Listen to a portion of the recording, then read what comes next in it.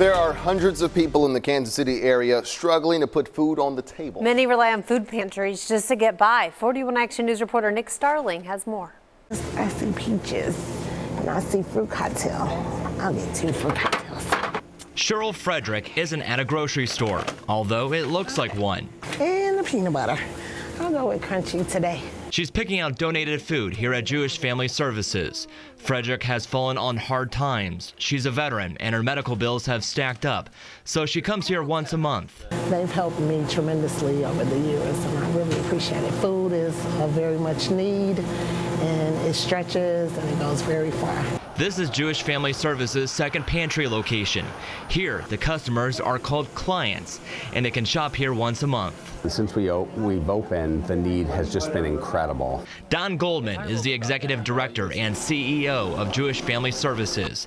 They deal with around 350 families and sees the need growing. It's a real struggle to keep up with that. We're in process of quadrupling the number of people that we serve here um, over the next two years. They rely on donations from you or their corporate partners like Whole Foods and Harvesters. This donated food helps stock the shelves, especially perishable food. It's something that's really expensive and that our clients would sometimes go without. If you have to choose between buying fresh apples or buying applesauce, applesauce is so much cheaper. Among the staff here are an army of dedicated volunteers. Four weeks out is September 12th. Is that okay? Like Kathy Keller. The clients who come here have become our friends.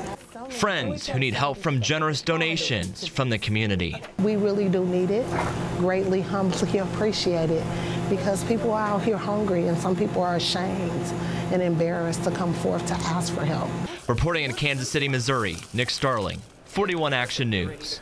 Folks, that right there, that's why we have partnered with Harvesters and Price Chopper to fill the fridge. We've been collecting perishable food products all week long. Yeah, yesterday alone, the community donated more than 3,800 pounds of food.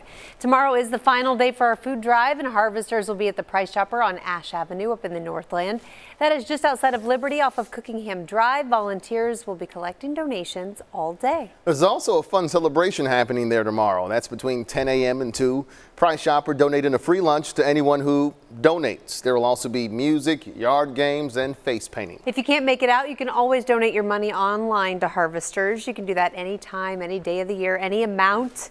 We have a link on our website right now. It's kshb.com slash fill the fridge.